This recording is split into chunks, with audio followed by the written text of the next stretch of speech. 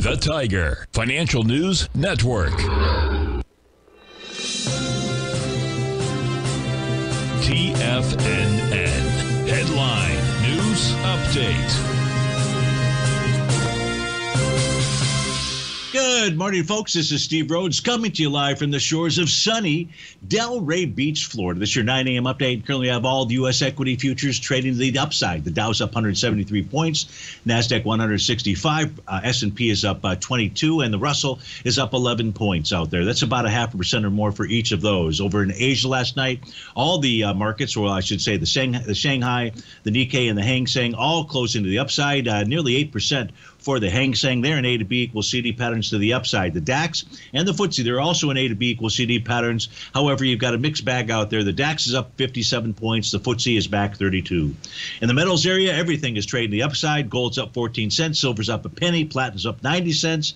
Palladium's up 75 bucks. Copper's up 14 pennies. That's a nice move, almost 4% to the upside. Light sweet crude is up about two and a half bucks. That's nearly 3%. And natural gas is up 3% or 18 pennies out there. If we take a look at what does all that mean? Let's switch over and take a look at my uh, another nine set of panel uh, market update uh, charts out here. We begin with the ES Mini, and the ES Mini's got an A to B equals CD pattern to the upside. That one to one price projection would take you to 41.26. You'll see above 41.26.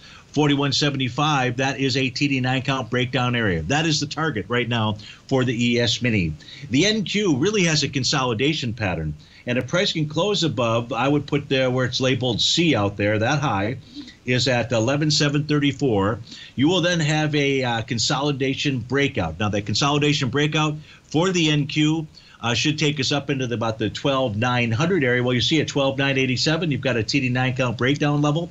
That would become its price target. The Dow, the only thing you have to worry about the Dow is it does have a Rhodes Momentum Indicator signal.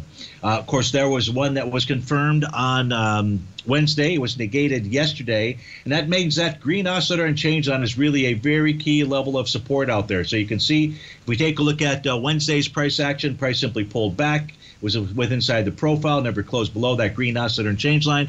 A green oscillator and change line tells you you have a rising price oscillator above zero. Those are bullish conditions. In the case of high grade copper, you can see it's trading above yesterday's high. Looks like this wants to go target the 444 area. The gold contract, no reason for this not to move higher. The US dollar index also moving lower out there. Silver, though, uh, will or should form a TD9 count top today and complete that pattern on Monday. So silver may be getting ready for a bit of a pullback. Folks, stay tuned. Tommy O'Brien with the morning market kickoff is up next. Have a fantastic Friday, fabulous weekend. I'll look forward to seeing you on Monday, 11 o'clock sharp. Take care.